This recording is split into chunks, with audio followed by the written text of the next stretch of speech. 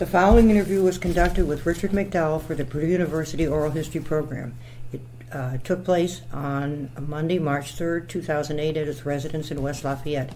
Also sitting in is his wife, Mary. The interviewer is Katherine Markee, the oral history librarian. Welcome. Tell us a little bit about where you were born in your early years and siblings. I was born in Muncie, Indiana in 1924. I had a brother who was one year older than I. He was born in 23. And I had a sister who was born in 27. She was three years younger. Uh, our family uh, moved a great deal in my early life because my dad was a tool and die maker. He went wherever he could get the best job. So we lived in Muncie for a while. We moved to Marion, lived in Marion for a while. I actually started school in Marion, Indiana. But then we came back to Muncie again for a while, and then back to Marion again. And finally, in my at the end of my junior year in high school, we moved to Fort Wayne. That was in 1941. World War II was just underway, and Studebaker Aviation had built a new plant in Fort Wayne, and they hired my dad to come to work there and be the tool room foreman. In 1941, I entered Southside High School, where I graduated in 42. After I graduated in 42, I went to work for Studebaker Aviation in Fort Wayne. Might tell you right now, neither one of my parents went beyond the seventh grade in school. They both had to quit school to take care of their parents who were not well, and so they didn't really have much of a form, what I call a formal education. College was never mentioned at home among our family, my brother, sister, I. I spent two years with Studebaker Aviation as an apprentice tool designer, learned a great deal about tool design and tool making and so on. The war was winding down, and I knew that I was going to have to find somewhere else to work. So I talked with my dad about it, and I said, What do you think I should do? He said, Well, I think you ought to go to college. No one else in our family has ever done that. Why don't you apply to Purdue and see if you want to go to school there. So that we did. We wrote the admissions office, got an application, sent it in, and I was admitted. So in July of 1944, I had enough money that I had saved from working at Studebaker Aviation, had enough money to bring myself to Purdue, pay my way through, and get a degree. So on July the 4th, 1944, I came to Purdue. Tell us what the campus was like and where you lived and what was campus life. My first residence at Purdue was in Chauncey Co-op House. I had never heard of a co-op house before I came here, but that looked real good to me. At that time, civilian students could not live in Cary Hall. Cary Hall was filled with Army, Navy, and Marines. It was a, a uh, military base. It was actually called USS Cary. And so I had to look for private uh, quarters. I lived in Chauncey for one semester. Can you tell us where that was located? 215 South Chauncey. Okay. So very close to the campus. It was an easy walk. Uh, there were just a number of things I didn't really care for there, mainly some of the students that were living there. The president of Chauncey House was a great friend of mine. We both decided we would go look for a private room and move out and live together in a private room. We found a wonderful place at 420 Hayes Street. Now, at that time, Hayes Street turned and went out on Northwestern right across from the uh, what is now Hovde Hall. See, there was no building in there; that was all open space, and I could sit in my room upstairs and look right out across and see Hovde Hall. So, what a wonderful, what a great spot, what a wonderful place to live.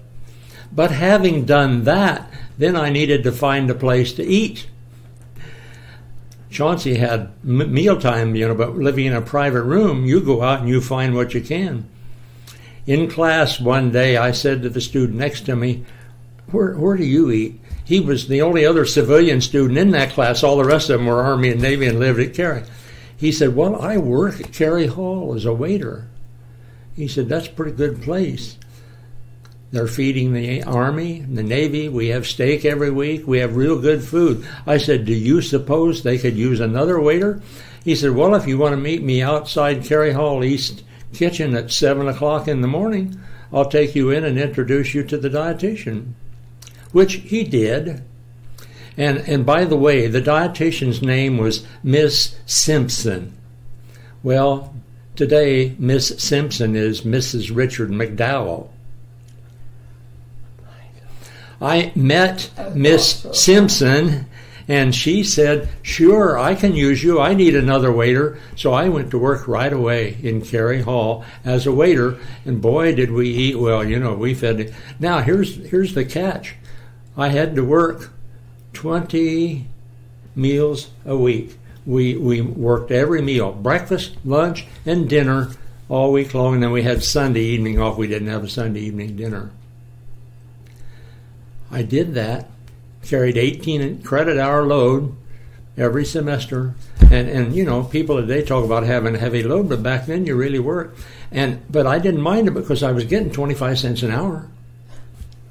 In 1944, that was pretty good money. Sounds good 20 to me. cents an hour, 25 cents an hour. I think, I think I finally got up to 35 cents an hour before we were married. I married. don't remember what it was. Well, anyway, to make a long story short, after about two years, I decided that she had been boss long enough. And I f- decided I would ask her if she would marry me. With, with the bright idea that if she says yes, then I'll get to be the boss. And you know, it really didn't work that way.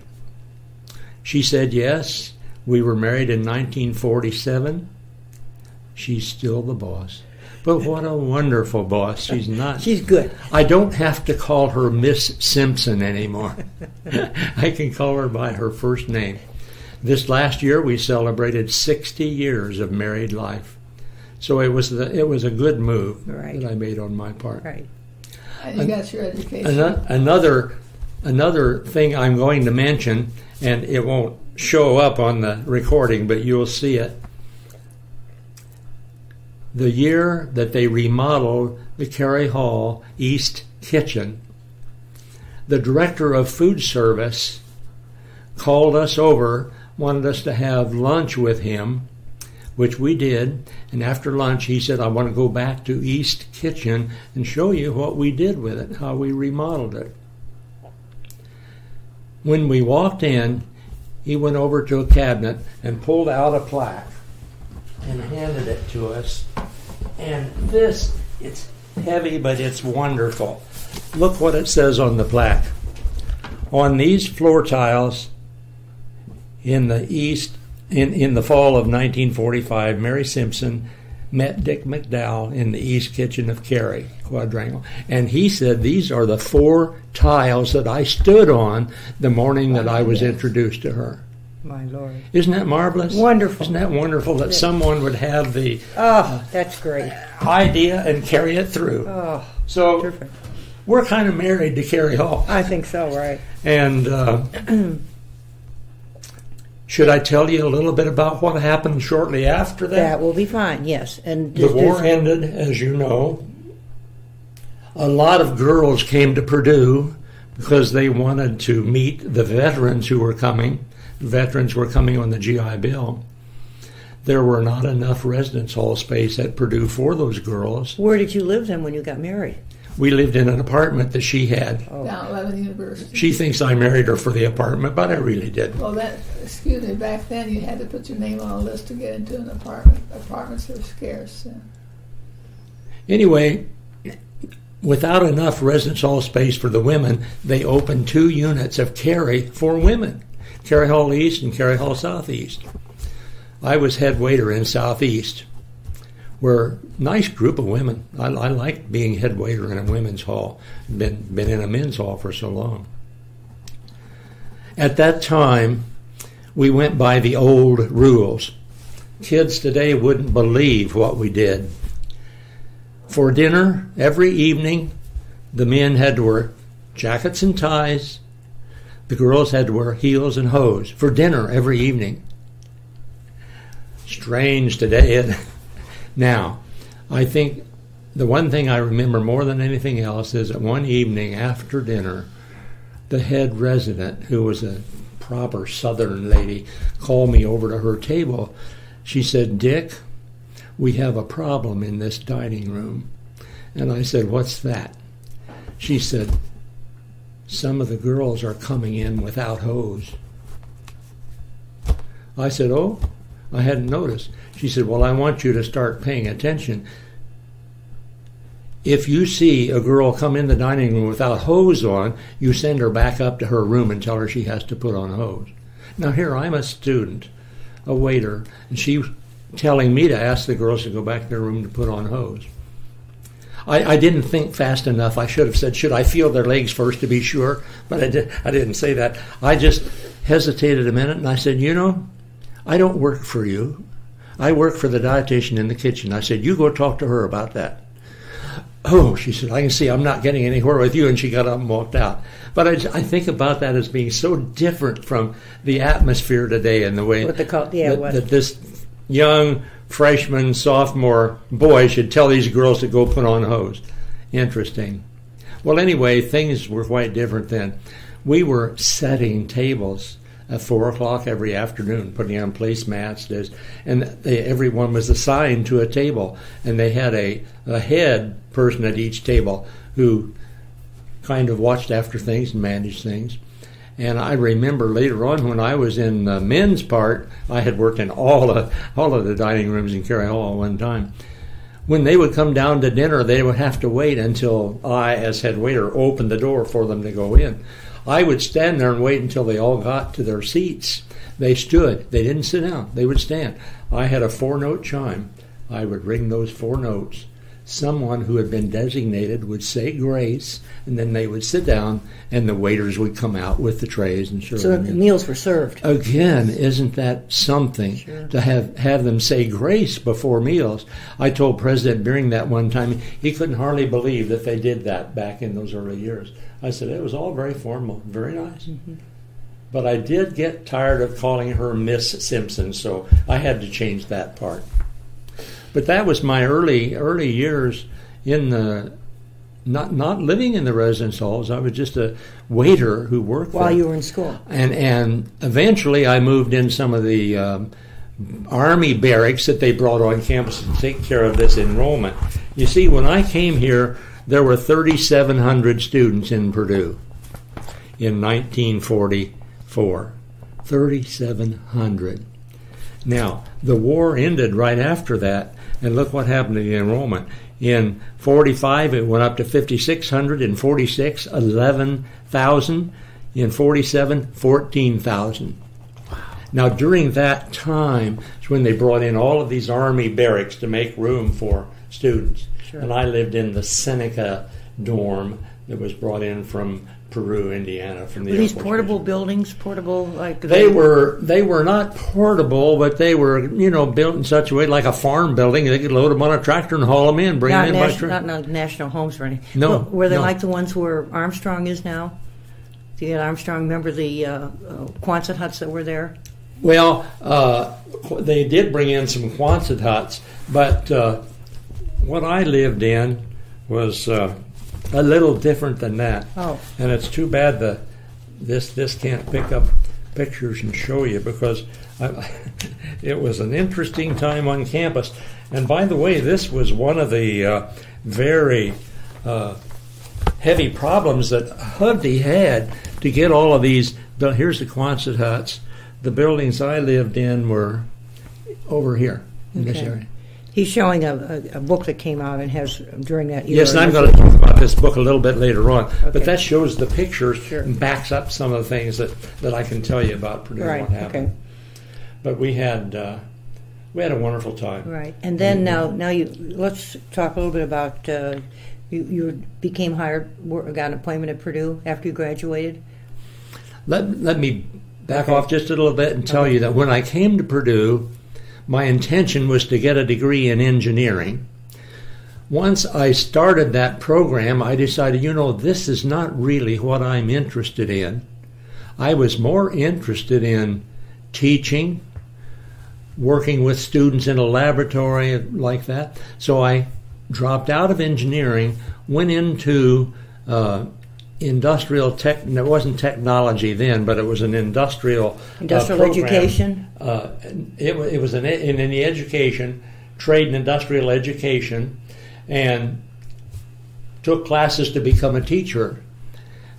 And after I got that degree, I had an opportunity to work at Cary Hall in the uh, supporting units, grill, post office, laundry, dry cleaning units. I managed that. And after about two years at that, I said, I want to get back into teaching now, so I'll do what I want to do. So I went over to Michael Golden Labs and talked to the fellow who was in charge of all that. He said, "Yes, I can use someone. And come right away." So, so that's when I really got into teaching in a department that was called General Engineering. Now, General Engineering was the forerunner of industrial engineering. After I worked for about two years in general engineering, they de- decided to split off and they would they were forming the industrial engineering department at that time. They would put the machine tool lab, the foundry, and the welding in industrial engineering, and then the drawing and other areas went with other departments on campus. Okay. So that's how I wound up in industrial engineering, teaching manufacturing processes.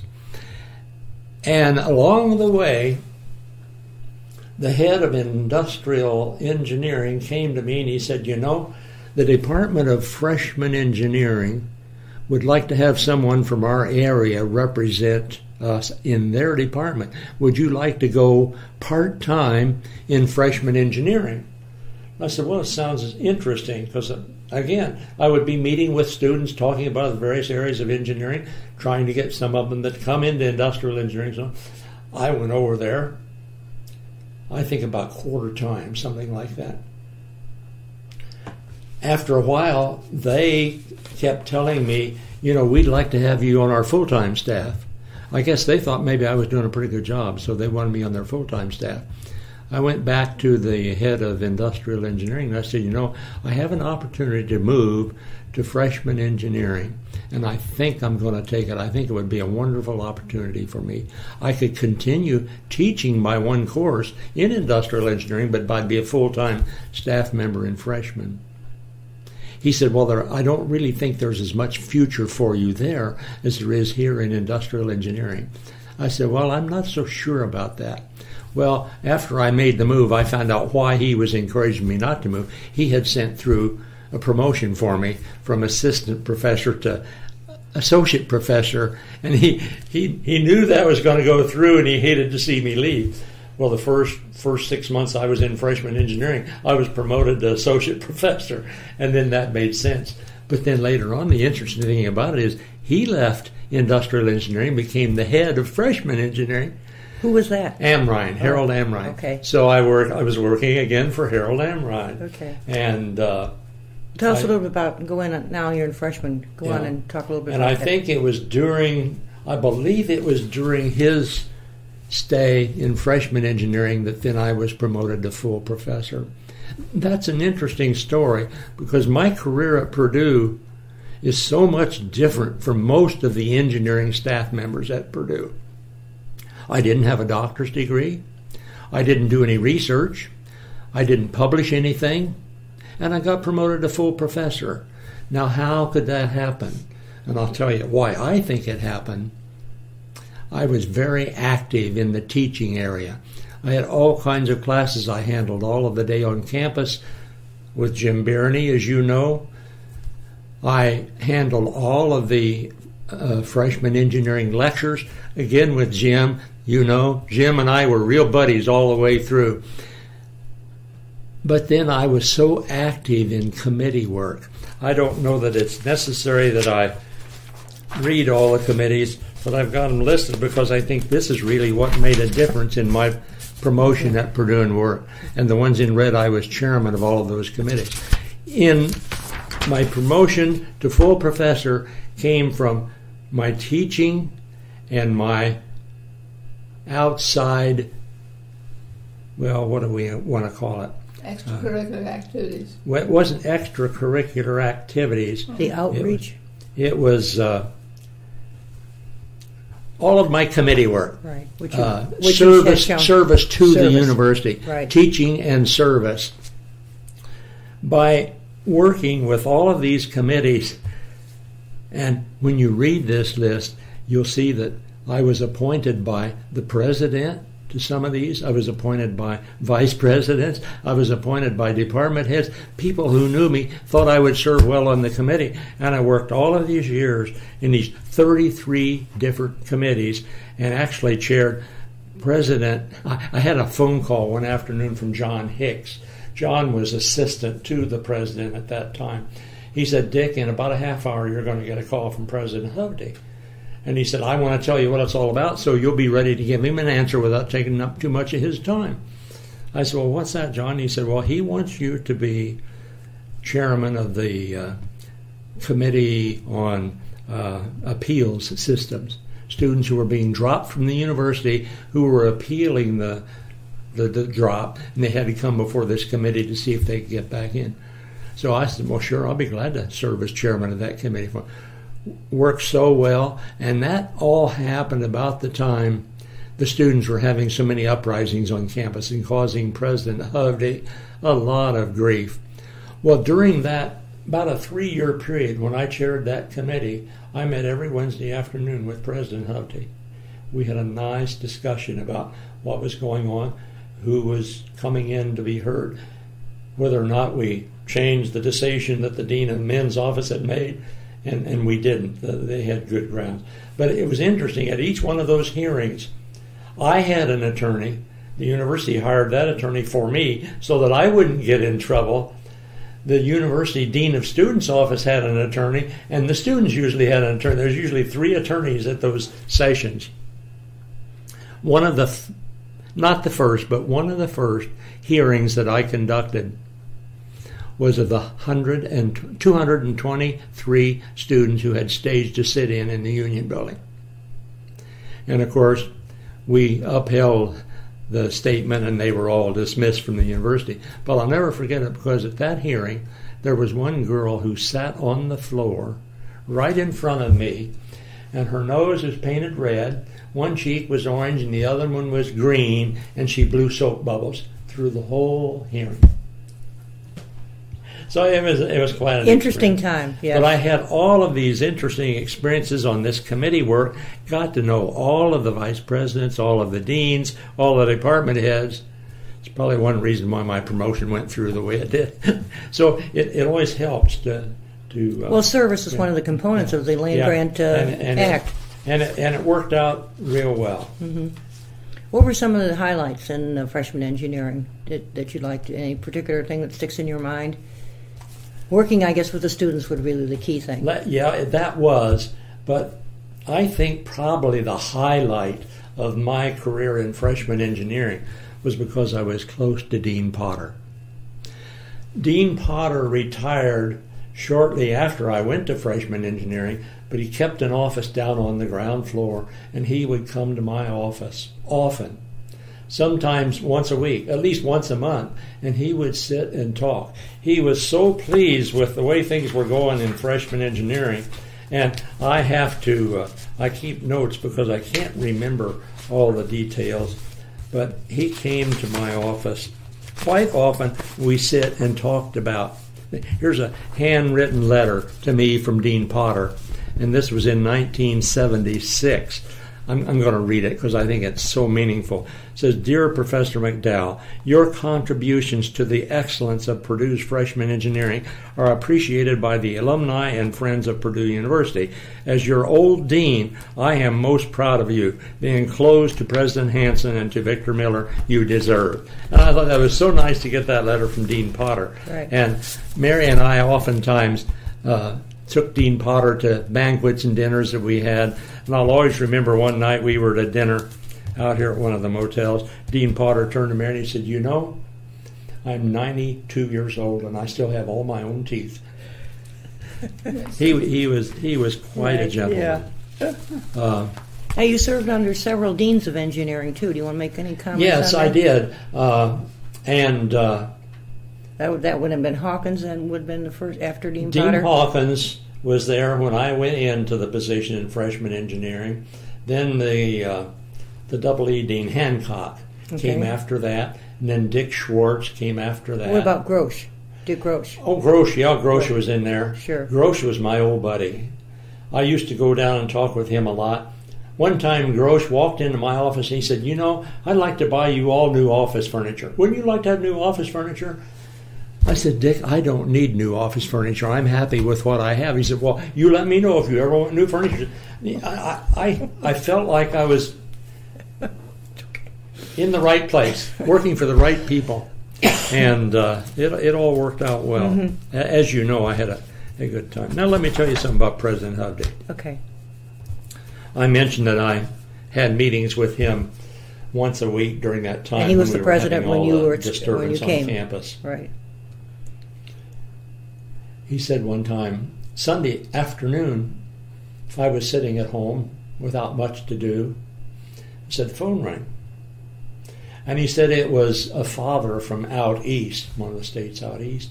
He was trying to reach his son. Now, that was at a time when there were no telephones in the student rooms. In Cary, there was a phone in each hall unit. And if the phone rang, somebody would go answer it and they'd get whoever was calling. This father said, I've tried many times to reach my son and I can't get him. And I need to get a message to him. It's very necessary. If I give you the message, you suppose you could get it to him? President Hovde said, I'd be happy to. So when the father hung up, President Hovde said, I dialed the phone number at Cary. Rang a long time, said, finally someone answered. And I said, This is President Hovde, and I have a message for so and so, gave the boy's name. Kid said, Yeah, and I'm Benjamin Franklin too, and just hung up. He said, I then did what I should have done in the first place. I called the university police, gave them the message, and told them to take it to the boy. but I thought that was so funny, and he, he thought it was interesting too. Something that happened to President Hovde, which I always think pointed up just how much the Board of Trustees liked him and approved of what he did for the university. In 1949, Purdue celebrated its 75th anniversary. You may know this story. No, no, I, but I know it was the 75th and 49. Here it is, 75th. There's a certificate. Mm-hmm. Do you know that just 20 years later, they celebrated their 100th anniversary? The centennial, yes. You know why they did that 20 years later instead of 25 years later? The Board of Trustees thought so much about President Hovde, they wanted to celebrate their 100th anniversary while he was still president. So someone on the Board of Trustees said if you look back at the history, you'll find that Purdue was actually formed five years earlier than the first class. So we could go back to that date for our anniversary and celebrate our 100th anniversary in 1969. President Hovde would be retiring in 71. Then he could be here and take in all of the 100th anniversary hmm. celebration. So I thought that was really Yeah, quite. that is. quite It was incorporated, but the first entering class, and that often happens with Yeah. a lot of work. Yeah. Oh, so see. they went back to that early date when Purdue was established, not the first day of classes, not the first class. And that's how that all happened. And I kept this all that time because I thought it was nice to have this 100th anniversary, 1969, the 75th, and Yeah, that's, that is so nice. it makes an interesting, Right. for interesting discussion. Good math problems. Yeah. One more thing I'd like to mention because I think this is really interesting. Good. Students think they have it rough today. In 1948 49, in the Purdue Handbook, I'm going to read this paragraph because students wouldn't believe this. It's titled Your Bills. The university feels strongly that you should pay your just financial obligations. This includes not only bills owed to the university, for board and room or various fees, but also any legitimate bills owing to outside persons. The Office of the Dean of Women and the Office of Student Affairs are authorized to suspend you from the university to exclude, exclude you from class meetings until such time as you get your financial affairs in order. The moral is, of course, to pay as you go and not to avoid any embarrassment which might, might ensue if you don't. If they found out you owed money to somebody, you had to pay that or they wouldn't let you graduate. Hmm. Now that's back in 40, 48, 48, 48 a couple years after the war was over. So things really did change, didn't they? Right. And I, I, oftentimes I have joked and I said to Mary, you know, when I was a freshman and sophomore at Purdue, my roommate used to say, I've got money I haven't even spent yet. Well, now they have to say, I spent money I don't even have yet. so it's just a, a complete the flip of the coin, right? But yeah. it's interesting. It's, it's hard to believe that they had rules like that. Uh, needless to say, my bills were already paid and I didn't have to worry about it. But some students probably had a problem with that. I would think so. That's right. What about athletics? You've been involved with athletics all the time? No, oh. I was not an athletic type. I didn't even go to the games. I just was so busy working at Cary Hall and going to class and trying to get things done that uh, I was not an honors student, so I had to work hard to get everything I got. And you were working full time. I made it through and, and got my degree and got my wife and did all these things that were real important. That's what uh, a lot of women came for to get a husband. I want to. What would you like to chat with about now? You have something. I wanted to mention something else here. Where is that sheet that has? Here it is. See, I came in July of 44, retired in 1991, and I'm still here today. That's 64 years that I've been at Purdue, around Purdue, and doing all kinds of things. The Fac Fellow program. Let's talk a little bit about well, that. Oh, okay, okay, but you just let me there. let me right. pick up on my teaching. I said something about the committee work, but the reason I was well, first of all, see, I, I have been selected. My name is on the board of good, te- great teachers in the Union Building. I had over 47,000 students while I was in school, while I was teaching. And that came about simply because I had all of the freshman engineering lectures for about 25 years, in addition to teaching classes I would go off and teach during the week. And a lot of students knew who I was. Right. Uh, an interesting experience I had in that regard. I had freshman engineering lectures, and at the close of one of those lectures, I saw this young boy get up in the back row. This was in WE 129 about 250 students in there. He was really coming down the aisle pretty fast. I knew he must have a question. I'd better wait a while. Finally, he got close enough to where he talked to me. I'll bet you knew my grandfather. He went to Purdue. and I thought, boy, I must look old at that boy. but I thought that was so funny. Yeah. Um, what was your last question? Oh, you were a Fac Fellow. You've been very involved yes, in the Fac Fellow uh, program, President which was started Hovde, by President Hovde. President Hovde started this Faculty Fellow program at a time when he was having so much difficulty with students who really didn't understand what was going on, why they did what they did, and so on. And he felt that if he would assign certain faculty members to this group and assign them to residence halls, they could put down some of the rumors and get the right information out to the students and it, it worked wonderfully well. We were appointed in 1969 by President Hovde to McCutcheon Hall, and we were in McCutcheon Hall until 1972. In 72, we went to Tarkington and stayed till 74. 74, we went to Earhart and stayed till 77. Cary from 77 to 82. And Harrison Hall asked if I would come over there. I said, on one condition. And said, what's it? I want a women's floor. I'm getting tired of men. So we went to Harrison Hall on the women's sixth floor from 82 to 2003. You see, I like the women so well, we just stayed and stayed and stayed. Now, let me give you one good example of what the Faculty Fellow program meant to students and what could be done. At dinner one evening, and we had dinner every week with our floor. This girl who was sitting across the table me said, Professor McDowell, could I talk to you after dinner out in the lounge? I said, Sure, you can. So after dinner, we went out in the lounge. She said, I really have a problem that I need to talk to you about. And I said, What's that? She said, Well, in my computer class, my TA is coming on to me. I said, Well, can you explain enough that I will know what needs to be done? She said, Well, yes. She said, He won't hand back my test paper. He tells me that I have to come to his office to get my test paper each time. And she said, When I go to his office, all he wants to do is set up a date. He wants to have dinner with me and that sort of thing. She says, I'm not interested and I don't know what to do. She said, I need that class. I can't just quit going. Do you have any suggestions? I said, Yes. You come to my office the next time you're supposed to go to that class. I said, Don't go to the class, come to my office.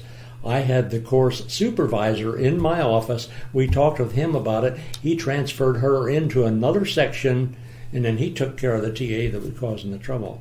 Now, you see, it, it was real easy for that girl through the faculty fellow program to solve her problem. Right. And I always felt like that's you know that's a real good reason to have faculty fellows. But we we had a great time. We had faculty fellows over to our house for Christmas. We had faculty fellows over. I, I don't mean faculty fellows, the students. Students. We were the faculty. We had the students over our house when the counselor got engaged or when Went to weddings. the residents uh, hall director got married. Every time we had a, we could have a party, we had it, and we went to weddings in Kentucky, Illinois, New York. uh, Wisconsin, New York. You know, we went clear out to New York. We just had a good time as faculty fellows Right. with the students. You really It was interacted. apart Yes. and separate from the classes. Sure. Well, they which still was come just- to see us. which just worked wonders. Nice. That's wonderful. Yes, and one of the counselors at Harrison Hall came to us. and She said, "I'm getting married this fall. I want you two to be in my wedding." Wasn't that wonderful? Mm-hmm. We drove to Dayton, Ohio, and took part in her wedding. And still today, they were here last Saturday. They come two or three times a year to visit with us. Just a wonderful connection. Nice relationship. It, right. It's just more than It you, lasting, more right. than you could expect, Right. And and we've enjoyed it so much. What, Do uh, you have something? Well, I'm going to start did- talking about some people here in a little bit. Sounds you good. Go ahead. now? Yeah, go ahead. That's fine. Dean Potter. I told you about. He came to my office every so often, said, "No." It was so interesting. After the fact, it's too bad I didn't have a recorder and could record some of the things that he talked about because Dean. One I remember one time specifically, Dean Potter talked to me about his visits to the White House, the Oval Office. He said I sat in the Oval Office and talked with the presidents, Roosevelt, Truman, Eisenhower, Kennedy, Johnson, Nixon. He had visited with all of them in their office in the White House. Such a wonderful conversation he had with me. But I think the the best thing I can tell you about Dean Potter, and I don't even remember how this came up, but he was in my office and he said, uh, "You know the Miller family from Benton Harbor, Michigan?" I said, "Yes, I do." Walter Miller. I didn't know Walter Miller; he had died by that time, but he had two sons who came to Purdue, uh, Victor Miller and Stanley Miller. And Victor Miller was the president of Voice of Music. His dad had started all these companies in the voice. Well, anyway, when they the, when those boys were at Purdue, Walter Miller would come to Purdue to see his sons, but he would always stop and see Dean Potter and talk with him. And Dean Potter said, one day he was in my office just before lunch. And he said to me, Do you go home for lunch or do you go out to eat? Dean Potter said, Well, I do both. He said, I don't really have any particular uh, schedule. He said, I'd like to take you to lunch today. Okay, he said, I'll call Mrs. Potter and tell her I won't be home for lunch. They went out to lunch. He said, when we walked out of the uh, building, here at the curb was a beautiful, brand new, shiny black Cadillac. Just a beautiful car. And he said, I simply commented, uh, what a nice looking automobile. And Walter Miller said to him, Yes, it's, it's brand new. He said, I just got it and I, I really like it. So they got in and they drove wherever they went to lunch and said, During lunch, Walter Miller said to him, Now, when you go home this evening, in a roundabout way, see if you can find out what your wife's favorite color is and let me know. He said, I'll have a Cadillac just like this in her favorite color delivered to your house. Dean Potter said, Okay, I'll, I'll think about that. He said, When we got back to the office, I said to Walter Miller, You know, I really appreciate your offer. But he said, I just know There's no way my wife would enjoy riding around in West Lafayette and Purdue University driving a Cadillac in her favorite color. But he said, I don't want to turn you down. He said, if you would be willing to write out a check in the amount that that Cadillac would cost, he said, I will use it to start a scholarship in engineering. And he said, Walter Miller took out his checkbook, wrote out the check, handed it to him, and he said that started the very first scholarship in engineering. Very nice. Nice. Now, if anybody knew Dean Potter, you knew that that was Dean Potter. He always said, people first, things second.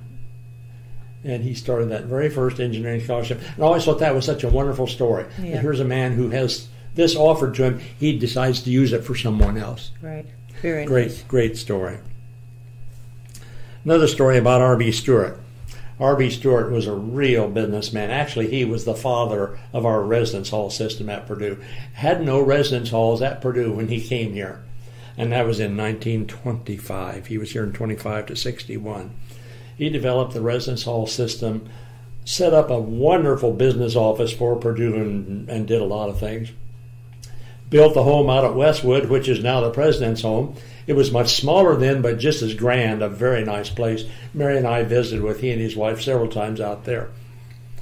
He was telling me that Need some water. when he came when he came for uh, the interview, I'll get it in a minute. He's, he interviewed with uh, President, uh, what's his name, Elliott, and he said I hadn't been in Elliott's office very long when he said to me, "Is your wife with you?" He said, "Yes." So where is she? She's out in the car.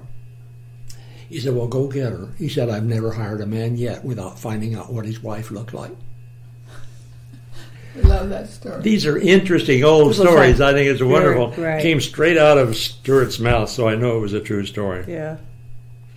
Dorothy Stratton. Did you ever hear of Dorothy Stratton? Dorothy Stratton died at 107 years old in 2006. She was the first full time dean of women at Purdue. Mary and I got to know her quite well during her latter years. We visited with her a bit. She drove in from California all by herself to interview for the office of What dean. year did Well, Mary, that would have been. Uh, 35, I thought. 1935 or 36. 35 or 36. Around the time Amelia and Lillian Gilbreth came on campus. Her first interview was with President Elliott also. Hmm. And at the conclusion of that interview, he said to her, Now there's one other person that you're going to have to talk with before we can make a decision, and that's David Ross. He's the president of the Board of Trustees. And he explained where David Ross lived out on South River Road and how to get there. He said, Now, tomorrow morning, that was Friday afternoon. He said, Tomorrow morning on Saturday morning, you're to be at his house at 9 o'clock. So she drove out, found the place, had a real nice discussion with David Ross. When they finished, he said to her, Have you ever pitched horseshoes? She said, No, I haven't. He said, Would you like to try? She said, Oh, sure, it'd be kind of fun. So they went out to the side of the house where the horseshoe pits were. And she said, I think I was lucky. One of my horseshoes leaned against the stake. But she said, We said farewell, and I came back to town. And Monday morning, when I walked into President Elliott's office, he said, Well, you've got the job. She said, Oh, good. I was hoping I would get it. He said, Well, I had a call yesterday from, uh, who's the guy? David Ross. No, yeah, I had a call Yeah. from David Ross. He said, I think we better hire that young lady. She pitches a pretty good game of horseshoes.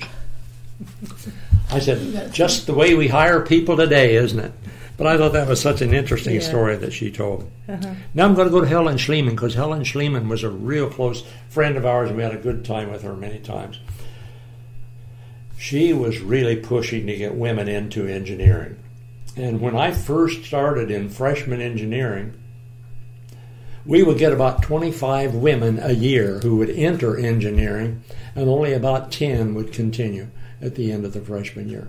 The program was so rigorous and not really designed to excite women. machine tool lab, foundry lab, welding lab. All of these things were unnecessary. Women couldn't handle them. They didn't like them. We finally got rid of them, and they don't have to take anymore. And we began to push to get more women in engineering. And of course, that just made Helen Schleman so happy. She would come and see me every once in a while. Um, I hired a woman from California who had an excellent background in guidance and counseling. She had read our ad in the paper and, and called me and wondered if she could come for an interview. I said, sure. She had a degree in uh, guidance and counseling, but I didn't care. I wanted somebody who'd take hold of that women's program and make it go. And she did. She found out all of the problems. One of the first things she came to me about, she said, You know, the girls are telling me there are no women's restrooms in the engineering buildings. Well, that's a downer right there. It turned out that the girls would have to go to the main office and ask to use the restroom back in the corner that the office help use. But they weren't about to tell me, but they told her, see? So we got that taken care of. Well, anyway, she did so many fine things, really got that program going. She was in she was director of the women's program in engineering for about two and a half years. During that time, we this went is the girl from from California now. we went from uh, about 100 women in engineering to 1,200 women in engineering, and it just kept growing. But she did a fine job. Now, she didn't have an engineering degree, so there was no way I could get her a promotion. I couldn't get her an academic rank, even though she deserved it. In 1971, President Nixon came to Indianapolis for a meeting, and he had he presented an award to President Hovde. So the immediate staff under Hovde went to that dinner meeting where that award was presented. Don Mallett, I don't know if you ever know him or not. Don Mallett was the vice president in charge of academics. Very, very good man, great man. He had a heart attack at that meeting in Indianapolis. Of course, they flew him back here and so on. And he was out of the office for, oh, a month or better. When he came back to his office, President Hovde didn't want to give him a full load. So he said, I'm going to give you a special assignment. He said, I want you to go around to the different counseling offices, find out what they're doing, how they're doing it, why they're doing it, and see if we can improve some of our counseling services. I had a three hour meeting every Wednesday afternoon with Don Mallett, the vice president for uh, academics. And when we talked about Donna Froreich and her work with the women students in engineering, he was so impressed. He said, "What is her rank?" I said, "She doesn't have rank. She's an instru- uh, she's a, a counselor. Why doesn't she have rank?" I said, "She doesn't have an engineering degree." Is that the only reason? I said, Well, that's what they tell me. They can't give her rank if she doesn't have an engineering degree. You send her name through the next time around, I'll see that it gets through. Send her name in. She became, as far as I know, the only person who ever received professorship in engineering without having an engineering hmm. degree. You see, it's who you know sometimes better than what you know. Exactly. And Don, Don Mallett did that, and I always felt like he did a wonderful thing for our department and for her. That was Don Mallett. Bill Fischang. Worry, you knew Bill or not. He was he followed Don Mallett as vice president for student services. He called me one day on the phone. And He said, "Dick, I want to pick your brain." I said, "Go right ahead. There's not much there." He said, Some of us are talking about the possibility of combining the office of Dean of Men with the office of Dean of Women and just have an office of Dean of Students. You have any thoughts about that? I said, Well, right off, it sounds pretty good to me. I said, I think an office called Office of Dean of Students would be great. I said, I only have one hesitation. And he said, What's that? I said, I think if you do that, if you want it to work and work well, the first dean of students should be a woman and not a man. He said, Well, why would you say that? I said, Well, now you stop and think about all the women on campus right now who go to the Dean of Women when they have problems. I said, If the office for Dean of Students, if that Dean is a man, they're going to resent that. I said, They're not going to like that. He said, Well, we hadn't considered that. I said, You think about that and then let me know how you feel. He called me the next day. He said, I just want to call and let you know that we decided we were going to combine the two offices. It's going to be Dean of Students, and Beverly Stone is going to be the first Dean of Students. I said, That's great. I wanted her to be the first Dean of Students. Well, you see what happened? Barbara Cook was next in line, then Betty Nelson, and then finally a man went into that. But it was a transition and it worked very well. Right. And right. if they had named Brian Clemens as Dean of Students, there would have been a lot of women upset on this campus. I always thought it was great that Bill Fischang had the common sense to call me and talk to me about it. Right, that probably helped a lot. Well, anyway, I want to talk about somebody else who did something for me very, very unusual. Colonel McDonald. He was the commandant for the Army ROTC here at Purdue. And I knew him through my committee service where I was on the Military Affairs Committee. And this was, uh, oh, sometime after I'd gotten to know him. I had a nephew who was in the uh, Vietnam War. His time of service was up. He was coming home. My brother called me about the middle of the week and he said, Jim's to get in Chicago on Saturday afternoon. We're going to have a big homecoming at our house on Sunday. We want you and Mary to come. We're going to have a nice welcome for him. I said, Fine, we'll be there. Saturday morning, about 9 o'clock, I had a call from my brother. He said, Well, the celebration is off. I said, What do you mean it's off? Jim's not going to get here till next week. I said, What's the problem? He said, Well, he got into Fort Lewis, Washington, and his induction papers were missing from his packet. And they cannot confirm his place of induction because Fort Benjamin Harrison in Indianapolis is closed on Saturday. So they said he has to stay in Fort Lewis, Washington until Monday morning when they can clear it with Fort Benjamin Harrison. Then they would let him come home. I said, Well, I hate to hear that. I'm sorry. We sat down, just down at this table. Mary said, You know, somebody ought to be able to do something about that. I said, Well, I agree with you, but I don't know if anybody can do anything about it. And as I thought about it, I thought, well, if they can, Colonel McDonald ought to know. So I called Colonel McDonald's home.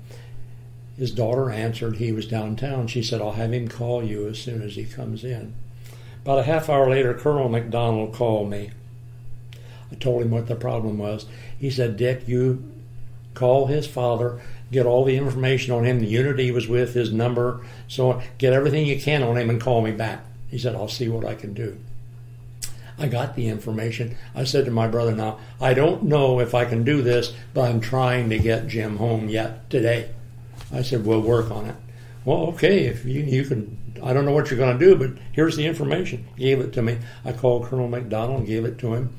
He said, I'll get back with you. I'll put one of my men on this right away. About an hour later, he called me and he says, We're not getting anywhere with Fort Benjamin Harrison. He said, I'm going to give them one more hour. If I don't hear from them, I'm calling the Pentagon. About a half hour later, he called me. He said, I didn't wait. He said, I just called the Pentagon. I talked to General so and so. He's asking for immediate release of your nephew out at Fort, uh, Fort Lewis, Washington. He said, he ought to be in Chicago yet tonight. Furthermore, they're going to change all of their rules and never hold anyone overnight when they're coming back from their service in the war. He said, It's all taken care of. I said, I really appreciate this and I thank you very much. It wasn't but about a half hour till my brother called me. He said, Boy, I don't know what you did, but he said, It worked. He said, I just had a call from Jim, and he said, He had sacked out in the barracks because he'd been up all night the night before traveling. And he said, Two MPs came in and woke him up, said, We've got to get you on a plane to Chicago right away. Come with us. He said, As they went out of the door of the barracks, he heard one of them say to the other one, I don't know who he is, but I think somebody said his dad works for Purdue. He was in Chicago at 9 o'clock that night. We had our celebration the next day. And I always thought Colonel McDonald came through and it was a wonderful experience. I'm talking about people who help people all the way through. And this is the kind of experience I had at Purdue. Right. Everybody helped me, and I helped everybody that I could. So it all worked very well. This is just aside the point, but I probably knew a number of the astronauts as they went through the classes, but didn't know them very well. But one one day I was coming out of the Union Building, and a gentleman walking along the sidewalk, I presume it was his wife with him. He said, "Well, hello, Professor McDowell. Nice seeing you again." I said, Well, it's nice of you to say that, but I'm going to have to ask who you are. Oh, I'm Jerry Ross. And then I could see the insignia. He was the astronaut, Jerry Ross. I thought that was really neat. One more I'm going to talk about, and then I'll quit and let you ask questions. Okay. Go ahead. John Christian, and you probably know my relationship with John Christian. Next door neighbor. Right. John was very active in the pharmacy school in the area of radioactive isotopes. He did a lot of the early research in radioactive isotopes.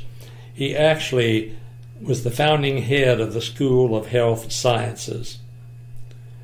And that program has really progressed over the years. And, and it was just a great program. Aside from doing great work on campus, John did something else which not very many people know about, but we, we were his neighbor for 42 years, so we know a great deal about John and what he did. He and his wife, Kay, Kay was the first social director for the Union Building when they started. He and his wife decided early on that they wanted to have a home that was different. So they visited a lot of homes and studied a lot. Decided they wanted to have a Frank Lloyd Wright home. Now, here they are, a young married couple without much in the way of resources, deciding they want Frank Lloyd Wright to design a home for them. How do you go about it? It was a puzzle. They didn't know what to do. John said, just in frustration at the office one day, I dialed the Frank Lloyd Wright studio. And Frank Lloyd Wright himself answered the phone. John's first lucky break. Had it been a secretary or a receptionist, they would have said, Well, there's no way Mr. Wright can design a home for you. He was designing the Guggenheim Museum in New York City. He was designing a home for the princes of Iraq. He was designing Johnson's wax buildings. He was designing buildings for the Marin campus out in California. You know, just real busy man.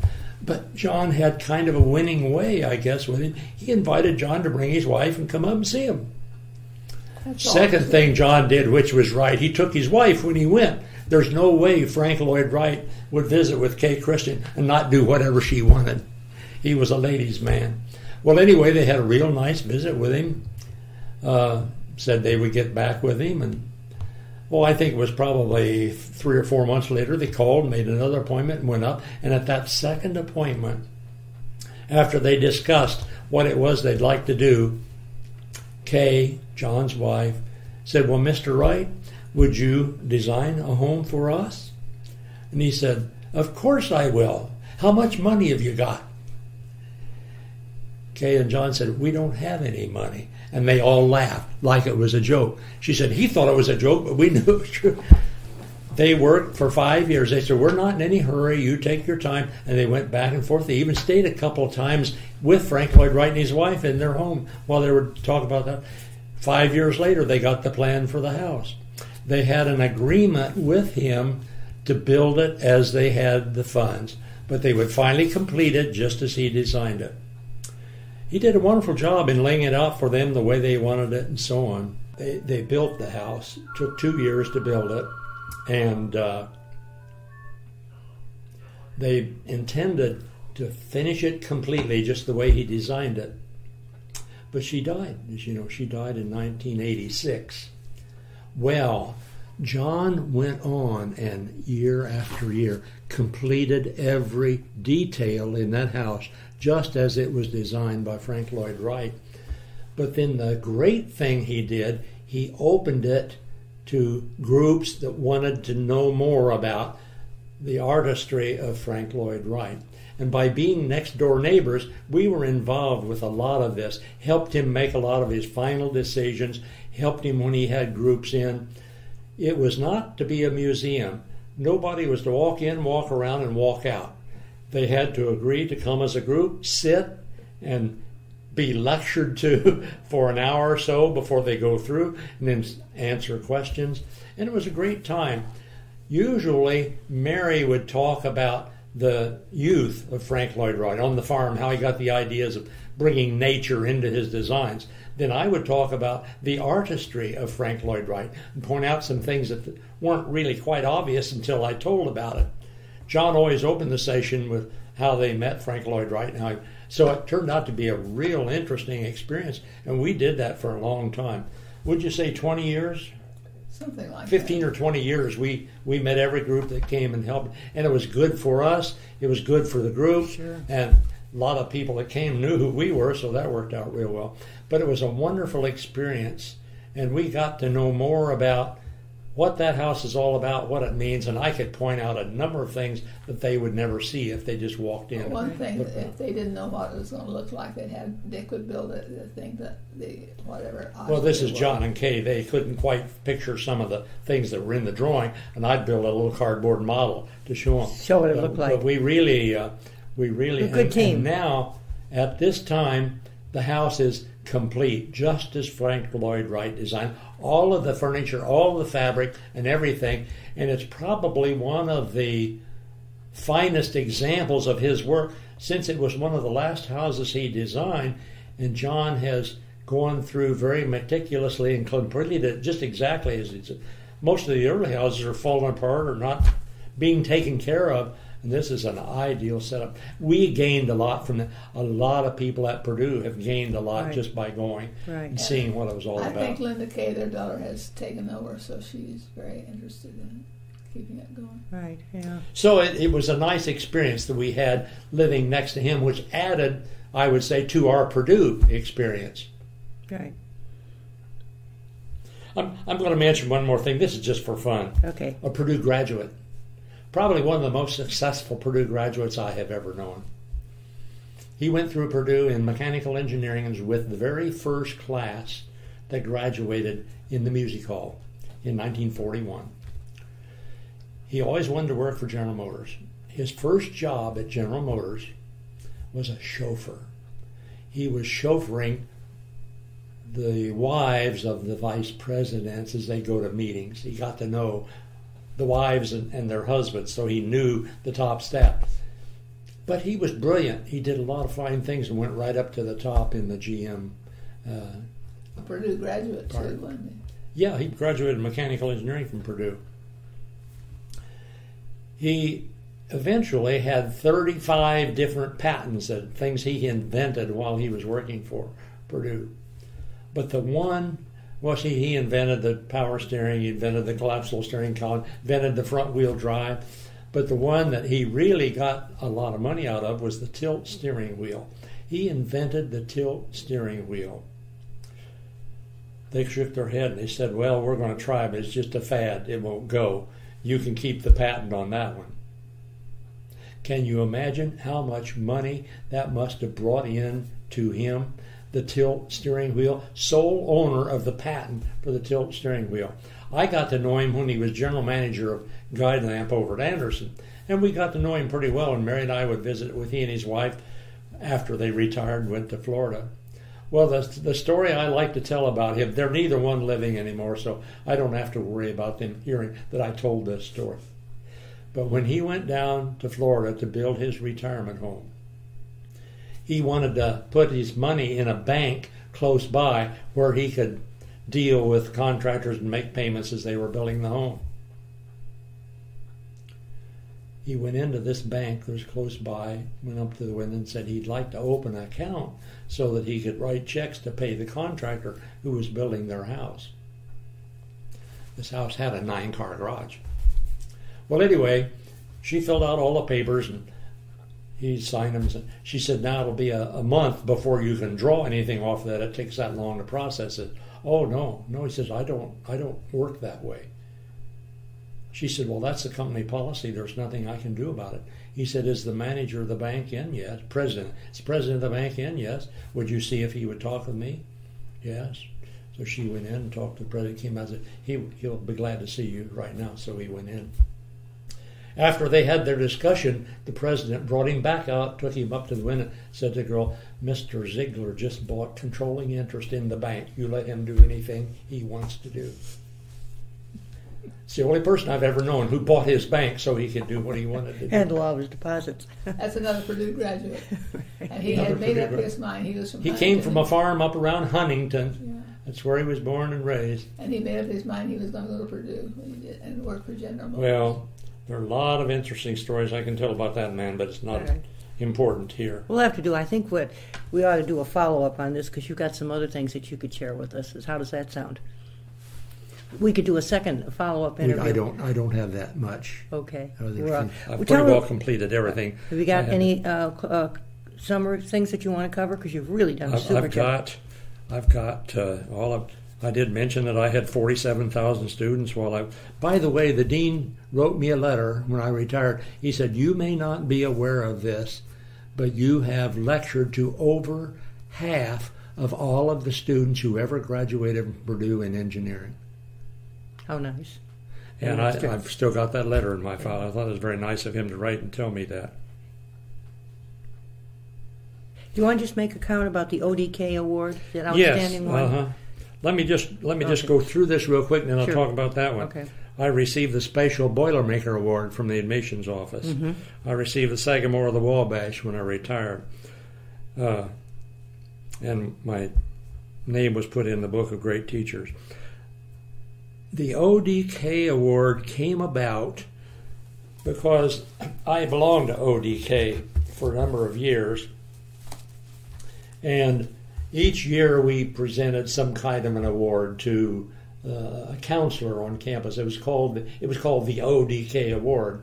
Uh, the various departments, schools would submit a name of their counselor. We think this person should be the ODK counselor award, should get the award. And that went on for quite some time. Uh, by the time I was involved several years in that, and uh, always had a position where I helped pick the winner of that award. My retirement was coming along. I don't know who made the decision, but somebody on the officer staff said, "Why don't we change the name of the award and call it the Richard McDowell Best Counselor Award?" I had won it. I had won it. I had several Best Counselor awards in my office, and of course I didn't object. I thought that was pretty nice. So they actually named it the Richard W. McDowell Best Counselor Award when I retired. And had me back every year when they presented that award to hand it to the person who won. Right. How about uh, any any other comments that you like to share in with us? In closing, any I, further I, researchers? there's probably a lot of them that I'll think about after you're gone, but I would simply say this. For someone who graduated from high school without having any thought of going on to college, from having come from a family that really didn't have much formal education, I could never have made a better decision than one I made when I came to Purdue. When I think back about all of the things that I would have missed if I hadn't come to Purdue, it, it just is such a wonderful feeling. I enjoyed every day I went to work at Purdue. I really didn't go to work. I went somewhere where I could enjoy myself and do something to help students. Right. And that was my goal to help students. And I, I really, I kept my door to my office open all the time. I said, You do not have to go to the reception desk. Just walk through my door, tell me who you are. And believe it or not, I had a few students who came through that door who said, I'm not in engineering, but my friend who is told me to come and see you. And, and it, it worked very well. Yeah. You know, my philosophy of counseling is if they can't get it when they need it, it's not worth much. And I would have students who would walk in my office and say, I can't get in to see my counselor till next Wednesday. Can you help me? And I would help them because they need it right now, not next Wednesday or not a week from next Right. Wednesday. Right. We did a good job. I Right. enjoyed every bit of it. Right. I appreciate I only closed my door once.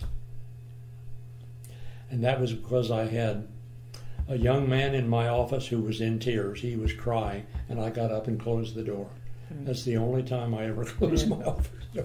This has been very nice, and the researchers will really benefit. I want to thank you, Dr. McDowell. And Mary. I, well, you know, this has been such a wonderful experience for me at Purdue. I'm glad to share it. right. That's what the purpose of the program